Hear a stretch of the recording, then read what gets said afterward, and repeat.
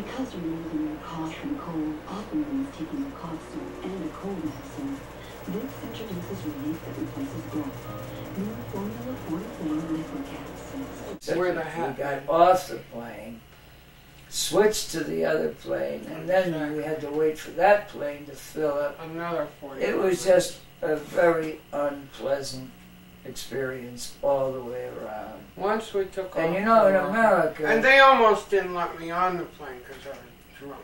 that's right. They started giving us trouble because, well, not Well- because you were drunk, but you were pretty raunchy. You know? Come on, man. She had a. Well, were you drunk? yeah, he'd been drinking. Uh, women in uniforms excite me.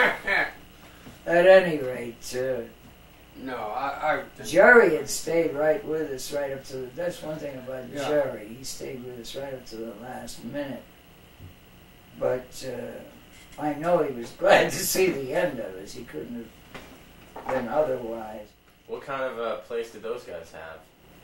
Well, I didn't think much of it It was personally. across the street from your school, your high school. Well, from Lakeview High School, and from my high school, I spent about a month They in had that a shooting there the week before. Yeah, we got before we got there, there was somebody. a couple of days. Well, man, that, And the first Jamie night he went, he got right there, the night he, uh, that we were there, the first night we were there, he went out and copped. Cocaine. Like Yeah, cocaine. I, I made a connection with Chicago. They had been there, I don't know how long, and neither one of them knew straight up. They don't have Puerto Ricans. They got Mexicans there. Well, it It's wasn't all bad. right, but double the price of New York. Yeah, they Uh, Well, twice These as. Mexican women got in a fight over. over him. One of them punched out another one. I thought we were going to end up in a shooting match there too. yeah, That's the that's truth. uh. What and was the place name was, of that place? you know, it was a- El- a seedy. You don't. We don't have them in New York. but uh, They have them El all over Chicago. Something. They're uh, what they call apartment They're black. hotels, something. and they, they really are. El Negro Gato was the name of well, the that was the where I bar. caught yeah, but Herbert's talking about the hotel. Yes. Yeah, it was. A, I didn't like it. That's where they were staying. They like had a, flea a fairly. room. They each had a room that wasn't. We didn't have the worst room, but it wasn't. It wasn't comfortable at all. It was like a hundred years old, It was really a seedy joint. like Art Deco furniture, the real thing.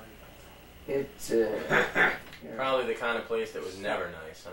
it was never nice. Yeah. That's right. It had been in a, You know, a Rat cheap Bear, neighborhood to begin with. Back when I lived in Chicago, wall to wall. the neighborhood was Rat Bear. considered, you know, uh, not ghetto, but the next thing to it. you Yeah. know. All Herbert, you hadn't been in Chicago for a long time. I hadn't been in Chicago since '39. You know, in Chicago, I was drinking whiskey. Johnnie Walker. Yeah. Uh, oh, they, Jerry was great for him. So Yeah. skunk. You and Jerry tied one on? Oh, several times. several times. That's the truth.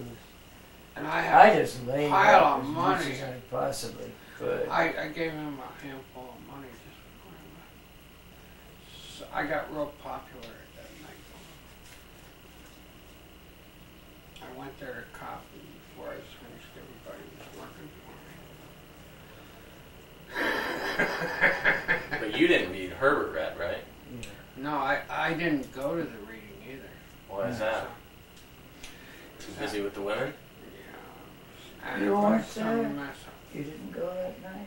I thought you That's when they started beating each other to death.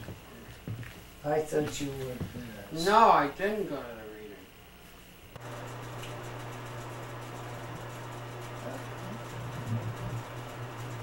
Rooney? Rooney.